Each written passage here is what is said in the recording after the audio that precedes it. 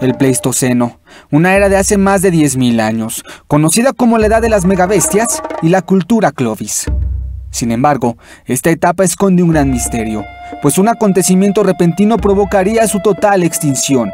Esto significaría la desaparición de la mayoría de las grandes bestias que habitaban entonces las Américas, así como la desaparición de la cultura Clovis.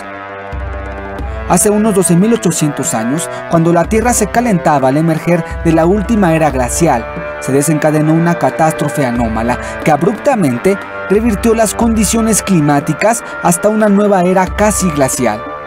La causa de este enfriamiento súbito provocó la extinción abrupta de muchos animales de gran tamaño, como mamuts, mastodontes, perezosos gigantes o tigres dientes de sable.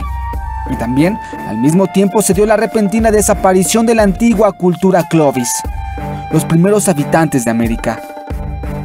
El equipo de investigaciones de James Kenneth de la Universidad de California en Santa Bárbara plantea la teoría de que un impacto cósmico pudo haber causado la extinción de la megafauna, provocando un largo episodio de enfriamiento climático, según datos recogidos en sitios como América del Norte, Europa y Oriente Medio. Una de las evidencias más contundentes proviene de una fina capa de sedimento encontrado en toda América del Norte. Esta capa contiene materiales con determinadas sustancias químicas que proporcionan colectivamente una evidencia muy fuerte de que la capa fue producto de este impacto. Todo esto coincide con una era de enfriamiento climático conocido como el Jorger Dryas, hace 12.900 años, respaldando la teoría del impacto cósmico.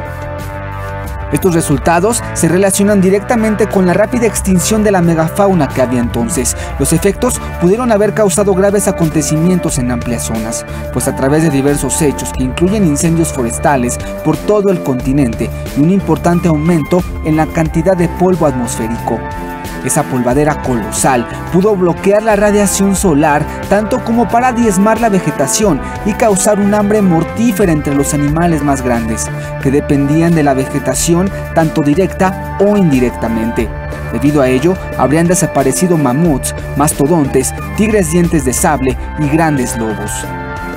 También, estas mismas modificaciones que hubo en el ecosistema evidentemente causaron frío y sequía, lo cual pudo haber sido la causante en la reducción de las poblaciones humanas. El impacto de un cometa hace más de 12.000 años pudiera ser la respuesta a años de incertidumbre y debate científico.